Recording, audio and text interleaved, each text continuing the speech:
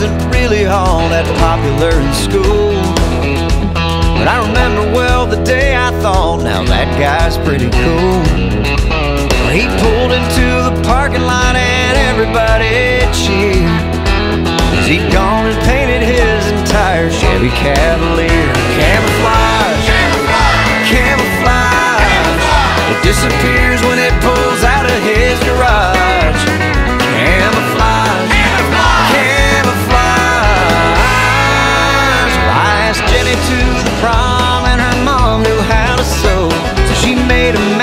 flaxen gown from duck blind mossy oak. We took pictures in the backyard before we went to the dance. And the only thing that you can see is our faces and our hands. Camouflage, camouflage, camouflage. camouflage. You should have